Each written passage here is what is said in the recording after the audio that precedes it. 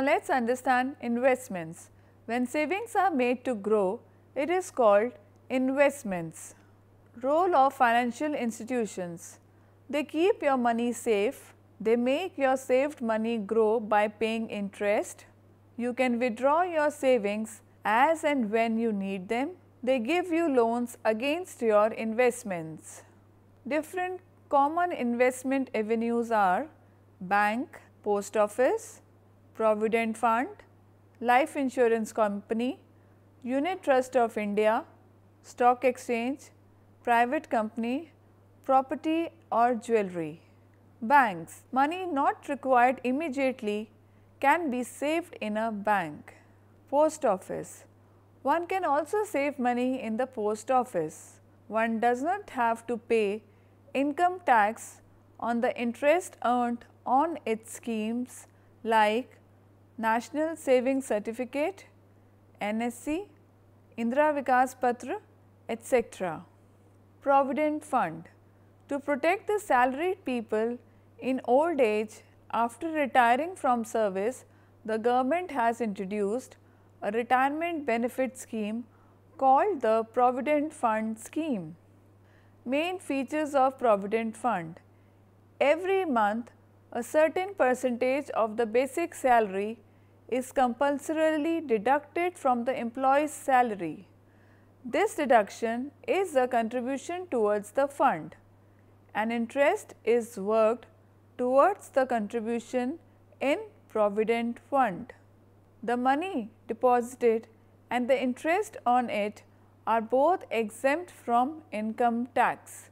You can take a loan against the money deposited, a record of the contributed money and the interest earned on it is maintained by the employer. A copy of the same is also given to the employee.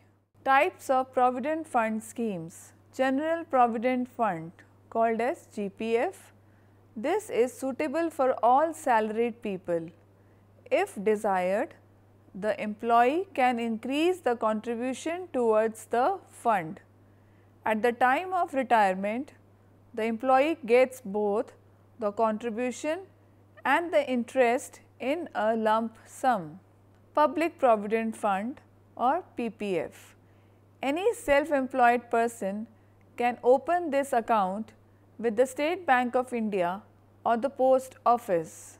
The money may be deposited either regularly in installments or in lump sum.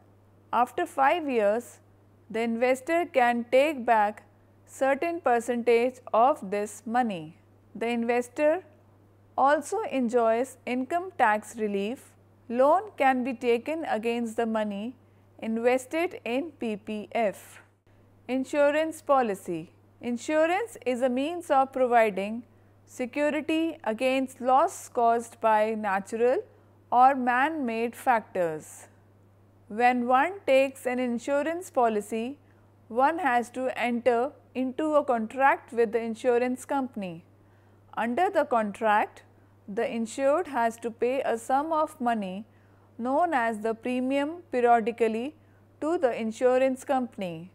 In return, the insurance company makes good the loss suffered by the insured person or agrees to make a compensation for the loss incurred. General insurance. This covers risks such as theft, fire, flood, drought or any other contingency. The contract is generally made for a year. The insured has to pay the premiums periodically.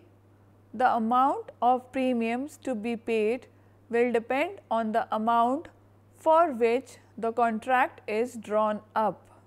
In case of a loss suffered by the injured, he or she can recover from the insurance company the actual amount of the loss or the amount of policy whichever is less. Life insurance. It is a contract under which the insured pays premium periodically. How much the premium will be will depend upon the total amount of the policy and the number of years for which the policy is drawn up. At the end of the period, the money along with the interest is returned to the insured. When the person who is insured dies, the full amount for which the policy is taken is payable to the person whose name has been nominated by the insured. Unit Trust of India You can buy units in your name or in joint names from the Unit Trust of India which is also called as UTI. Each unit has a face value of rupees 10.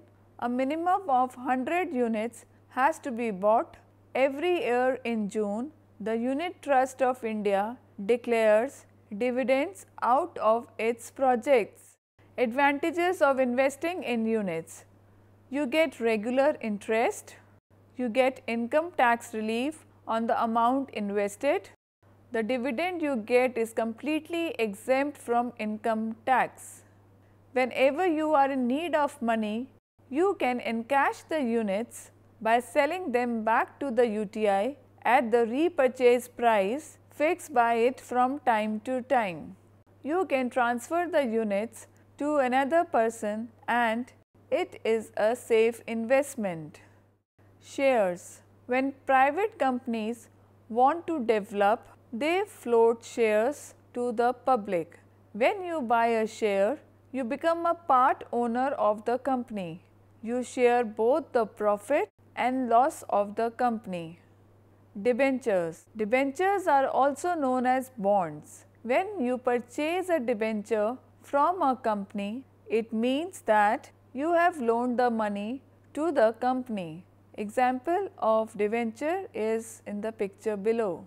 When compared to investing in shares, this is a safer method of investment. You get your interest irrespective of the company's profit or loss. In return, the company promises to pay back the investor not only the amount invested, but also a fixed rate of interest on it at regular intervals. Property or jewelry. If you have a large saving, you can buy any one of these and keep it with you. You can sell it at a later date when its price goes up. Disadvantage here is that when you wish to sell off your property, it may take long time to get a suitable buyer. When you sell off your jewelry, a certain amount of loss may be faced in the weight of the jewelry. Now selection of investment scheme. It depends upon your capacity to save, safety of the investment, the higher rate of interest, easy liquidity, other benefits, the purchasing power and convenient place of investment. Now different facilities offered by financial institutions. These are credit card, debit card, ATM card, loan and e-banking. Credit cards most banks provide credit card facility to their customers. This card can be used for purchase of goods and services from selected outlets authorized by the bank. Since this card is made of plastic, it is also known as plastic money. Debit card. This card is issued against your savings bank account. As you make a payment, Using this card, the money is automatically debited from your account. In this manner, use your money instead of taking credit from the bank. Difference between debit and credit card. Credit card where you borrow money and therefore a loan. The bank will ask you to pay back the money you spent. If you do not pay back that you will be charged interest. Debit card where you spend your own money instead of using from the bank. You do not pay the interest on the amount spent. ATM card using a credit or a debit card you can withdraw money from ATM at any time of the day or at night 24 hour services. These are located in various places like a bank building, shopping complex, a residential area or railway bus terminals etc. Loans Today financial institutions provide loans for many purposes like personal use, education, purchase of a house, vehicle, household durables, maintenance, etc. The interest charged by these institutions varies according to the purpose, amount, repayment period and type of institution, whether government or private. E-banking Used to know your bank balance, amount of credit available, apply for a checkbook or draft credit card payments etc. can be done through e-banking. To purchase railway and air tickets and also pay your telephone, water and electricity bills. To utilize telemarketing facility to purchase goods or to avail services.